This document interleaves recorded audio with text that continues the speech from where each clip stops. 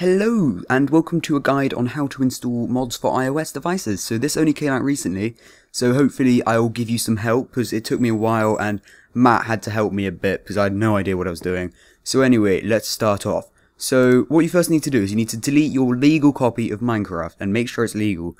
No bad people, so delete that all, but first back up your worlds maybe, because that'd be an idea.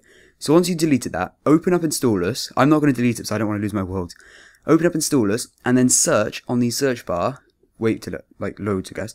Search Minecraft Pocket Edition. So let's just see. So yes, Minecraft Pocket Edition, and this will allow you to have um, any of the mods that are available right now and easily install mods because it's a really great system. And Entirely is so cool.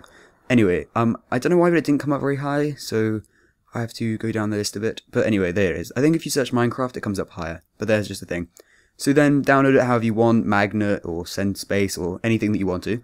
So once you've now downloaded it, then open up Cydia and go to the um, resource, the repo that's in the description below, and it's Intyre's repo, and it'll be in the description below, so just go there and look at it, and you will probably, hopefully be able to just copy it or remember it and stuff. So it's, it's it takes so long to open up Cydia, it's unbelievable, so I'm just going to skip to the bit where it is open. So there we go, and you need to install MCPE patch and just um, install it. I've already installed it, so just, you know, install it. And then there's also one other thing that you need to install from Cydia, and you need to remember to do this. And what it is is ldone, and this is what confused me because I didn't think I needed to install it, but you do. So um, it's spelled with an L, a lowercase L, which confused a lot of people because it looks like an uppercase I, but it's L and then D O N E. You know how you spell done. And um, you need to download that and just install that, I guess. But all you need to do is just click install because it's Cydia. So this this can only be done on a jailbroken iDevice, but you probably guessed by now. And um, yes, so just download that, and that's a must download thing because I think that's how the whole app works.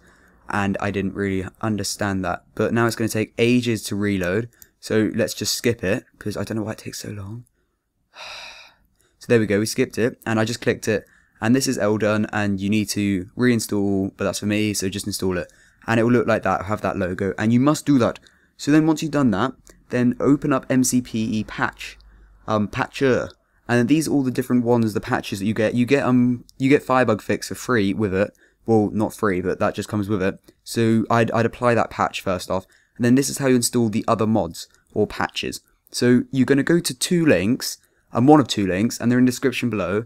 And there's also other links on the Minecraft forums, but um, I'm going to go to the actual one where um, where the patcher or the thingy-majig was first announced and like you were able to download from it. So this is um, one by Intyre, and I think these are all his mods.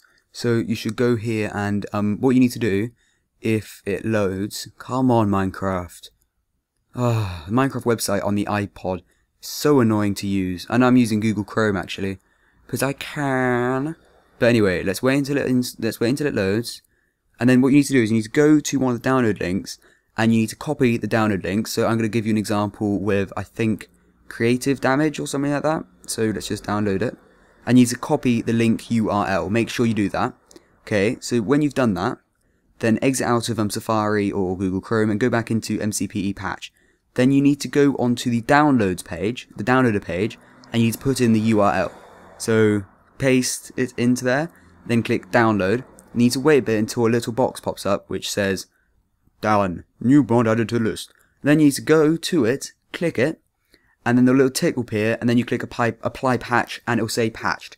Then to unpatch it, you just do exactly the same thing. You click it again, then you click apply patch, and it'll go back to normal. So thank you for watching this. Please leave a like and subscribe, and I really hope that I've helped you and anybody else watching it. So thank you all. Goodbye!